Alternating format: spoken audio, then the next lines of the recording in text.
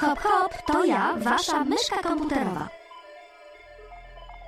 Jestem myszką z dobrego domu.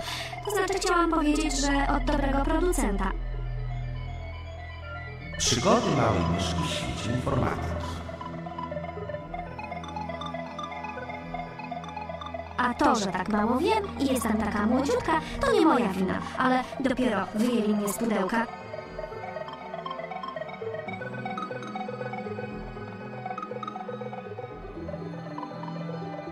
Pewnej szkole, w pracowni komputerowej, stoją trzy komputery. Gdy dzieci skończą zajęcia i gdy noc zapadnie, w pozornie pustych i martwych pomieszczeniach zaczyna się nowe życie.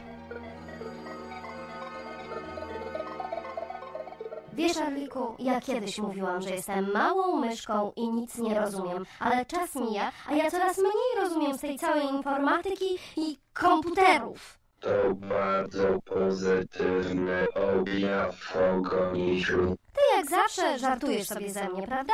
Wcale nie ja mówię poważnie Poważnie. Koń by się uśmiał. i nie miałby z czego, A, a to dlaczego? bo im więcej poznajemy, tym więcej mamy wątpliwości i wiemy, że nic nie wiemy, tak powiedział pewien filozof, Filozof. Hm, tak wielki filozof. nie ten filozof. Nie wiedziałam, że z ciebie taki filozof, a nie wyglądasz. Dobrze już, dobrze, ale czego znowu nie rozumiesz? Pamiętasz, jak profesor Talent tłumaczył nam o dźwięku, że mamy jednokanałowy, czyli monofoniczny i dwukanałowy, czyli stereofoniczny. Pojętna uczennica, dobrze pamiętasz. No właśnie. I tu zaczyna się problem. Jaki znowu problem? Bo w kinie domowym jest, no tak tu przynajmniej napisali, dźwięk 5 i 1, a ja już czytałam o 2 i 1, a nawet 6 i 1 i jeszcze 7 i 1. Już mi palców brakuje, żeby policzyć, co to jest kwinto czy septofonia. No i co? No i to, liczę i liczę. Raz, dwa, trzy, pięć, sześć, siedem. Nijak nie mogę się doliczyć. Ja już się gubię w ilości tych głośników. Te dwa wielkie, ogromniaste i te malutkie. I jeszcze jakieś takie zabawki, no.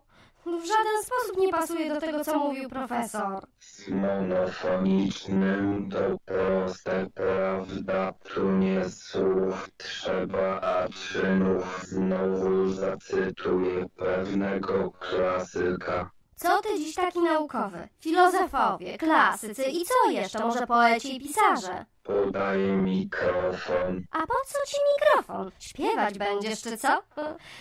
Śpiewać każdy może trochę lepiej lub trochę gorzej, ale tobie to, o ile dobrze pamiętam, to słoń na ucho nadepnął. Nie będę cię straszył moim śpiewaniem. Będziemy eksperymentować. Będę teraz szumiał. Szumiał?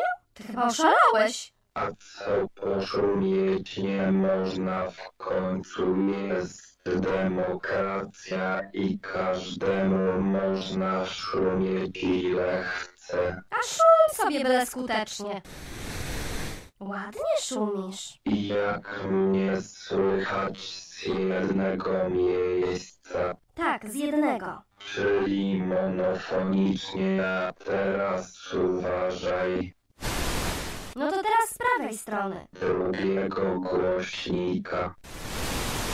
Ty naprawdę ładnie szumisz, Arliku. Pewnie ma się tą wprawę, a teraz słuchaj. Kanał lewy. Kanał prawy.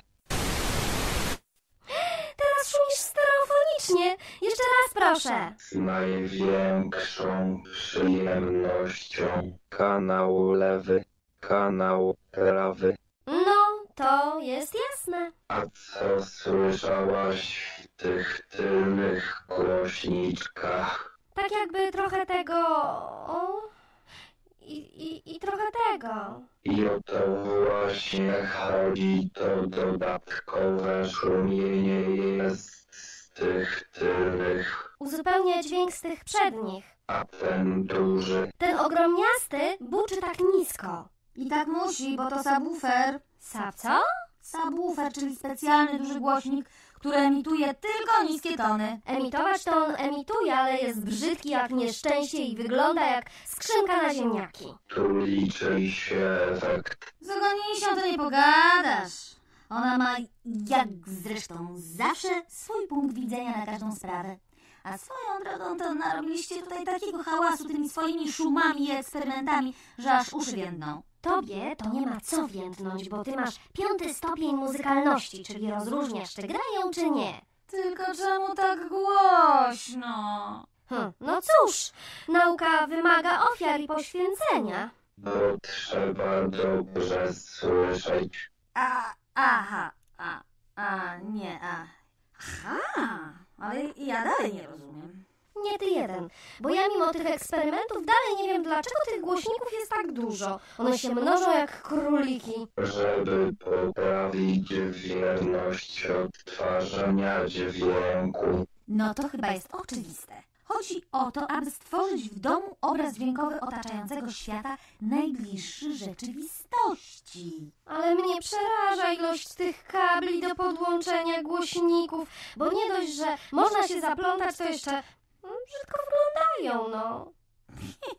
Estetka się znalazła. No moja droga, albo dobry dźwięk, albo ładny wygląd i brak kabli. I tu się mylisz, Modusiu.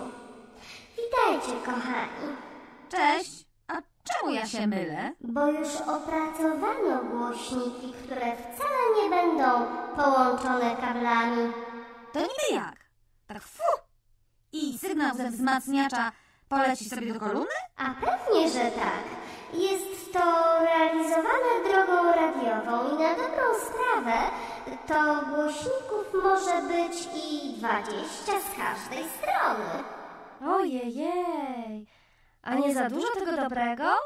Ja już teraz nie mogę się połapać, a co będzie dalej? Wcale nie za dużo, myszko. Zaraz ci to wszystko wytłumaczę. Tylko muszę się trochę wysapać. Uff, bo goniłem encyklopedię przez pół miasta. To pan tam przytaszczył ze sobą?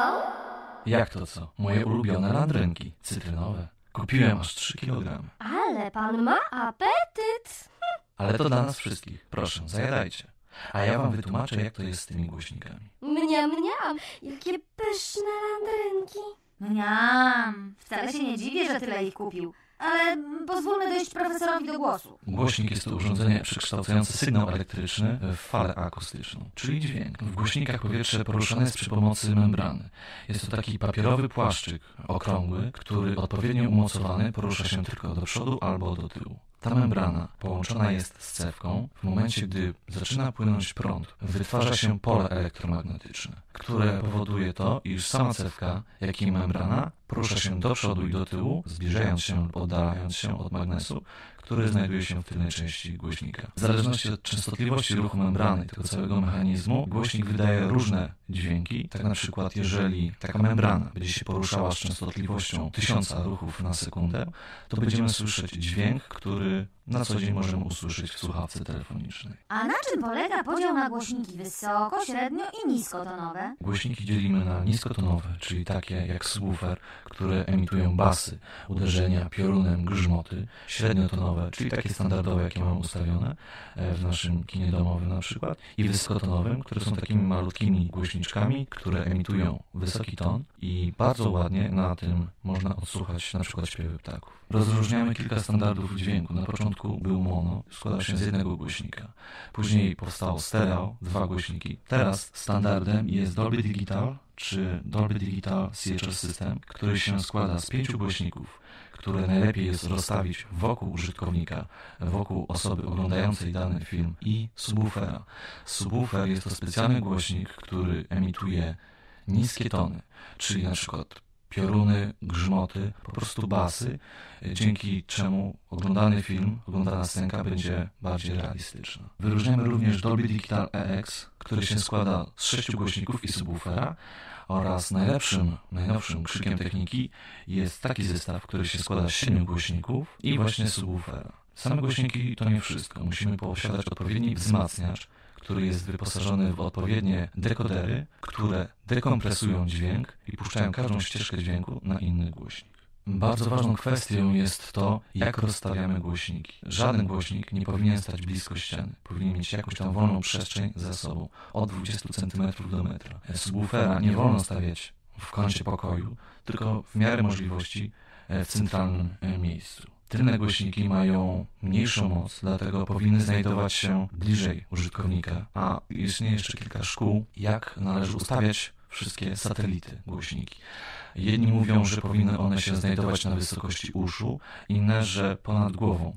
Jednak to wszystko zależy od tego, jak mamy umeblowany pokój, jakie mamy po prostu możliwości. Czy jakość dźwięku zależy od ich wzmacniacza i ile zależy od ich jakości? Pytałaś się, Gonisiu, jak to jest e, z tymi wzmacniaczami. Im lepszy posiadamy, im posiada on lepsze pasmo przenoszenia, tym jakość dźwięku będzie bardziej doskonała. A jeżeli kupimy jakiś słabiutki wzmacniacz, to wiadomo, jakość dźwięku nie będzie zadowalająca. Jakość muzyki, którą słuchamy, zależy również od ilości głośników, które posiadamy, jak i od ich wielkości.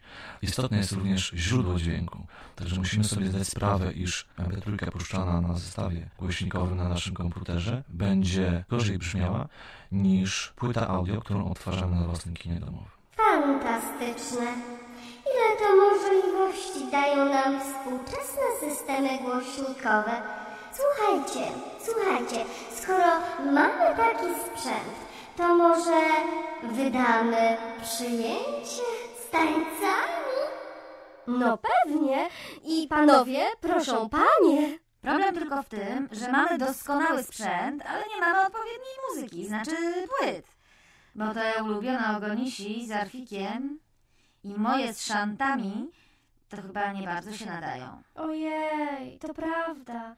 Ale zobaczcie, jakie płyty pożyczył mi eksplorator. Fantastyczne. O, to lubię. O, I to też. I to... A tej to nie znam. Bo to płyta z czasów, gdy twoja babcia Gryzunia szalała na parkiecie. Składanka rock'n'rolla. Nie ma lepszej muzyki do zabawy. Ale przedtem do roboty. Profesor zwija dywan, Ogonisia przygotowuje picie i kanapki, Arlik ustawia sprzęt, Moduś... Moduś przesuwa meble, żeby był wolny środek do tańca. Ja, y, meble? Dlaczego ja? Ja? Ja? Kanapki? A ty co będziesz robić? Ja, ja koordynuję i kontroluję. Do roboty. I już. Demokracja demokracją, ale ktoś musi pilnować porządku. Uff, jakie to ciężkie! Przedźwignąć się można. Uff. No, dalej. Ups, jakoś idzie. Jezus, się zmęczyłem. Ciekawe, dlaczego ja? Ja zawsze dostaję najgorszą robotę.